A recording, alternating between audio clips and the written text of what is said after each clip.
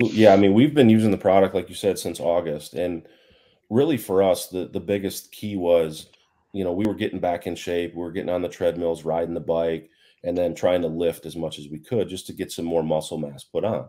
Well, as we get older, right, your joints start to fail a little bit. You creak and crack when you get out of bed. And I was having a lot of trouble with my elbows.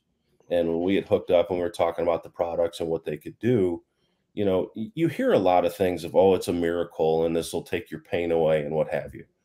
I don't subscribe to any of that stuff. Yeah. Right. And we don't, yeah.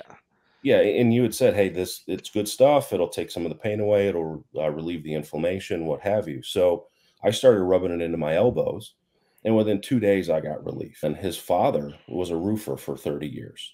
And he was always working above his head, and his shoulders were basically burnt out. And he was looking to potentially get his shoulders replaced. Right.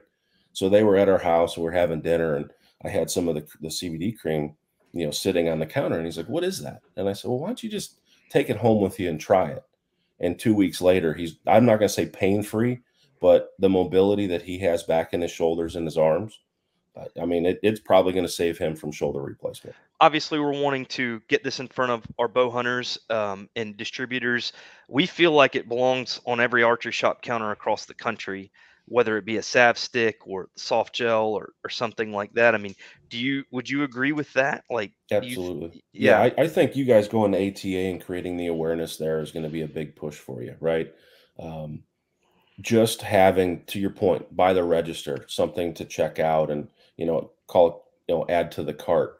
I think it's going to be a huge success.